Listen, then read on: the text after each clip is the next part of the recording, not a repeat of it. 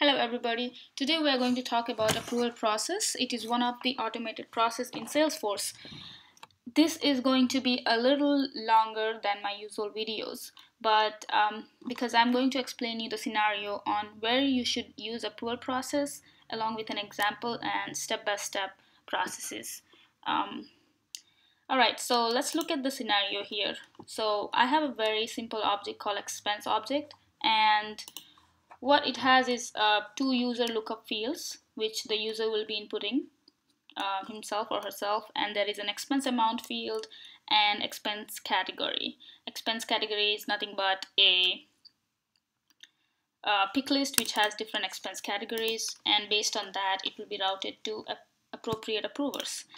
So um, also make sure if you don't see the submit for approval here we don't see it because it is already submitted for approval. But in your case, if you do not see submit for approval, make sure you go to the page layout and um, let me show you actually. Go to the page layout and make sure you have submit for approval checked um, on the quick actions here.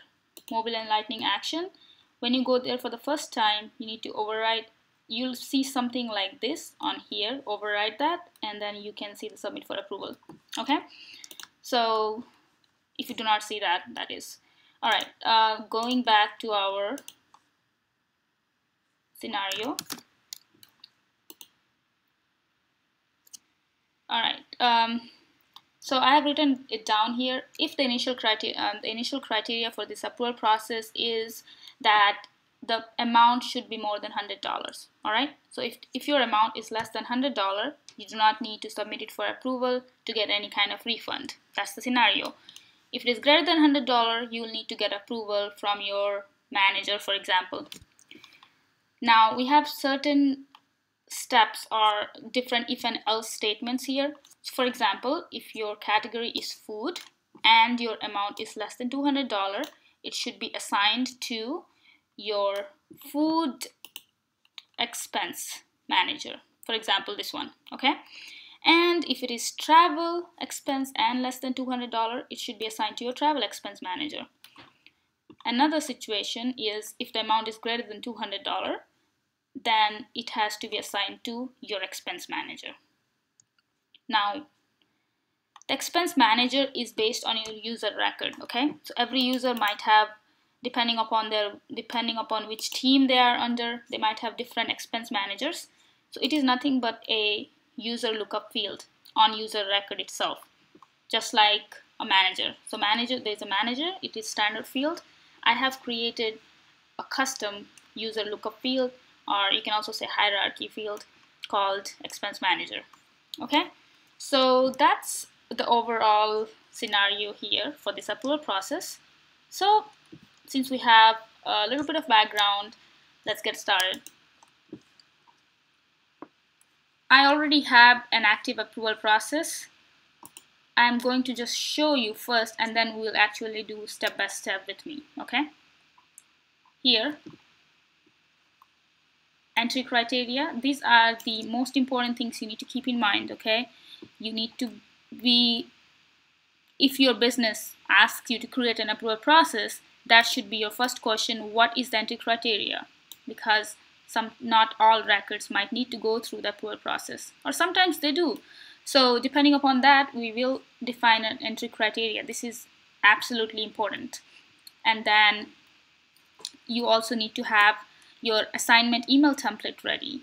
Once it is uh, assigned to a approver who should get that email? Or not who but what should be the format of that email that you will get from your business users. They will give you a format and then you just use that format. Create an email template. If you are not sure how to create email template let me know and I can guide you through that. Um, or there are plenty of resources online if you want to check it out. So email template and then who will be the initial submitter? Will it be the expense owner himself or will it be somebody else? So that is uh, an important question you need to ask and then you have various submission actions like by default Salesforce actually locks the record from being edited um, once it is submitted for approval. Except for admin, nobody else can edit it. And then multiple steps, and that's where we'll be deciding what are the different steps. You can see here there's like an if-else statement here. If this happens, do this, otherwise go to the next step. And then there, for each approval steps, you can also define different actions you want to do. Maybe you want to email somebody once this is done or create a task, field update, outbound message. So these are different available things you can do on each steps of approval. It doesn't have to be if and else. Okay, so it's mostly depending on what your business requires. You can add multiple steps here and then there's a final approval actions meaning once it is approved maybe you might want to send an email to the owner itself that hey your expense has been approved right? So those are different um, actions you can take. Also add existing means there will be if you already have some actions workflow actions created you could add those actions here all right um, and then finally you can lock the record or maybe you can not lock it. Up to you and the rejection actions. All right so a lot of talking right? Let's start actually now let's start it. Um, okay. Once we are in approval process I'm going to actually deactivate this one and then create a new one and uh, make sure you are on the right object okay? By default um, it tends to go to account but go to expense and create a new process. You'll see two different options here jump start wizard and standard setup wizard. Um, I prefer standard setup wizard if your if your approval process is going to be complex one prefer this one because it lets you define everything um, in a really good way and a very intuitive way as well so I'm going to choose this one. Jump Wizard is um, easier if you just want to get started real quickly. Um, but since I'm going to demo you everything, so why not, right? Expense approval, let's name it too because, and always, always write description. It is very important. If somebody else wants to know what's happening, they can just pull it up and it tells right there, okay? So it's helpful for your fellow colleagues and yourself as well if you want to look in future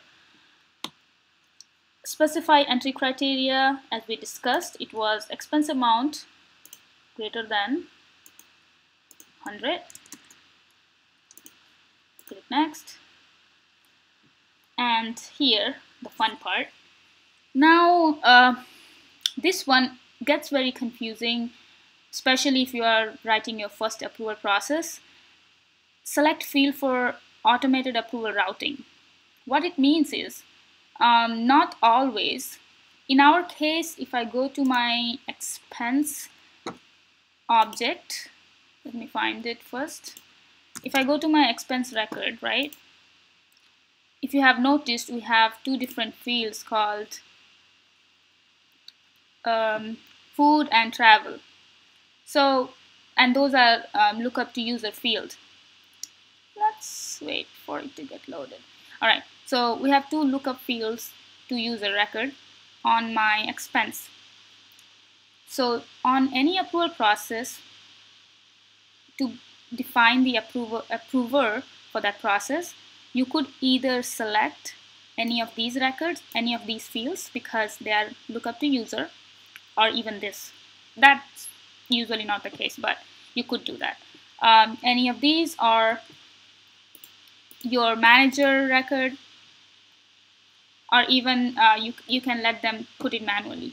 But you, I'm going to show you something here. If you select that next automated approval determined by, even though we have different situations where you want to select if it is food, go to food, or um, travel, go to travel, we still want to select that for a reason I'm going to show you. We'll see that in next steps, okay? For now, standard user fields manager, custom user fields expense manager, but since we have expense manager let's click that and keep moving. And then approval assignment email template.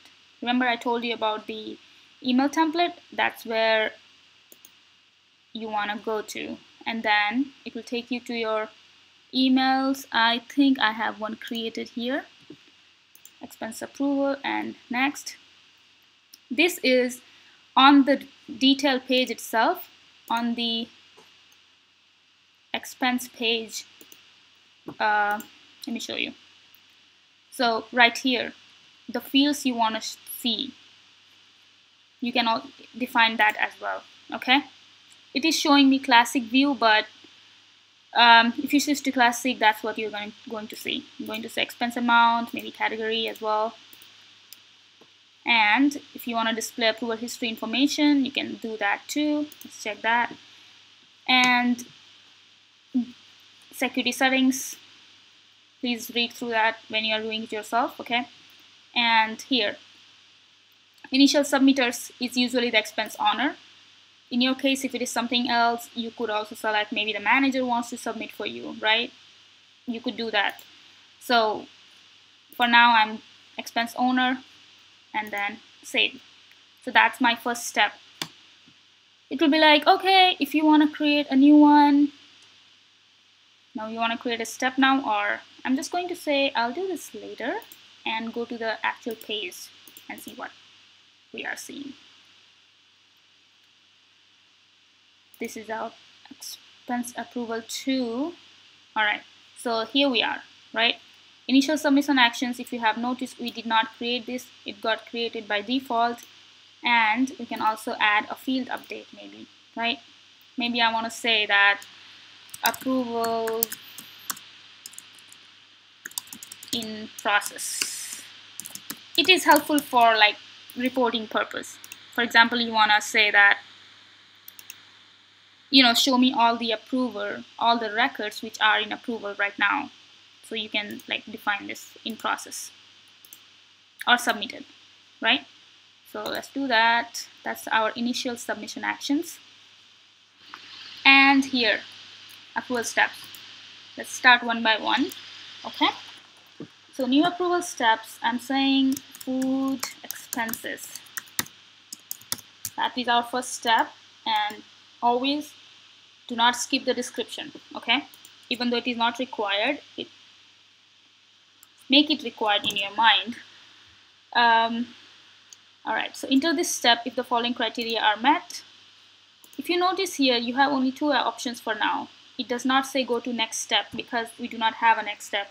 So for now we are just going to keep it here and then we're going to come back to this okay? So expense category equals food and expense amount less than 200 that is our criteria click next. Alright so do you see now? If you don't have anything on that first step where we selected expense manager that was not a required field by the way. You could not select anything and it will still let you save it.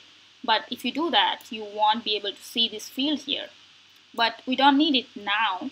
We will need it in third step when you create. So that's why I wanted you to select that expense manager all right does it make sense and then automatically assign to approvers.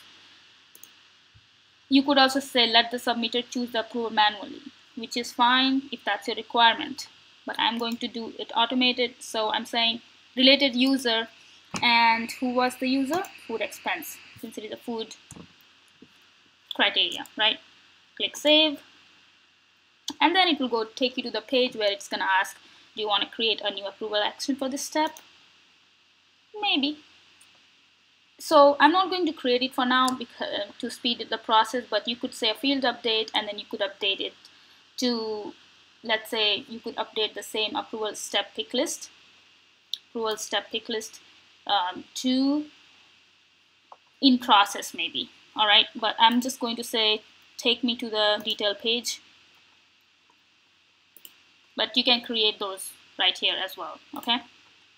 And then I'm going to say new approval step again as for the second one and let's say travel expense. Write the description. Click next. And then enter this step. The criteria are met. We do not have anything here because again we don't have any other steps. So expense category equals yep it will be travel because that's our condition and then amount less than 200 and by default it says and. Okay you could also change it by adding the filter logic. Okay. And then we just do the same process as before and select travel expense. And we save it. Uh, I'll do this later meaning you will do this later and as I said we're going to go back to this one because we need to say else next step not else approve so let's go there Now you see we have three options. Go to next step. If that's not correct, go to next step. Save it. All right, uh, that's our two criteria. Now third criteria is amount greater than $200. So amount greater than 200 and then write a description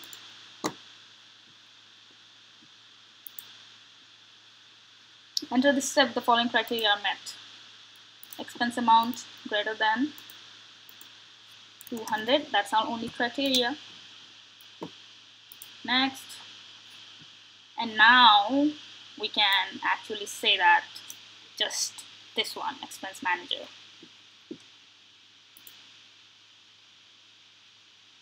And then click save.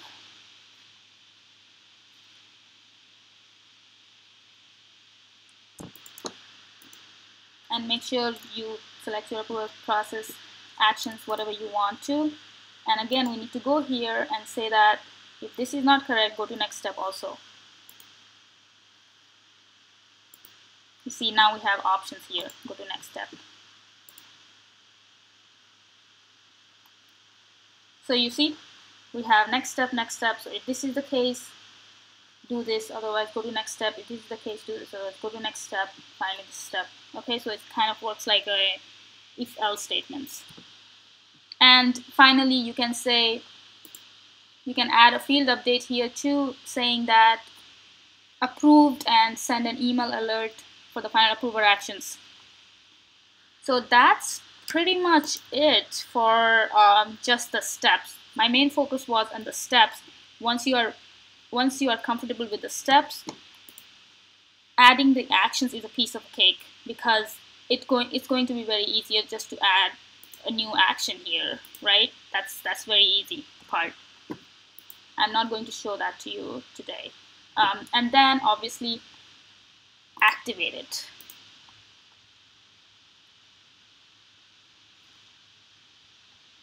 Okay, so and yeah, a quick side note, you can also view the diagram um, of the approval process if you have a nice chart which shows you all the if-else statements and everything else which we just did. And also if you have noticed here it says one and if you have multiple um, multiple approval steps with multiple criteria like entry criteria itself. For example I had expense expense greater than $100 follow this approval process. Maybe there might be greater than $500 something else. So or multiple scenarios right? So you could also do the same thing just like assignment case assignment rules. You could say one two three and so on. So for the same object that is. I hope you enjoyed this and I hope it was helpful for you uh, for whoever was doing the approval process for the first time. And please uh, type in comments if you have any questions. And uh, or what what else would you like to learn? Please let me know. Thank you so much for your time. Have a good one